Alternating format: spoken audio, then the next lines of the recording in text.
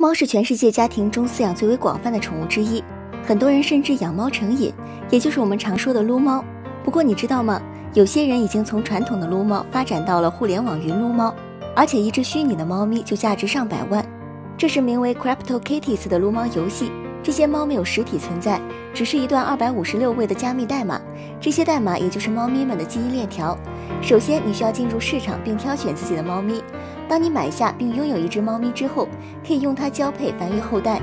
Crypto Kitties 里面有专门的相亲页面，当你的猫咪交配成功后，就会获得新的猫咪。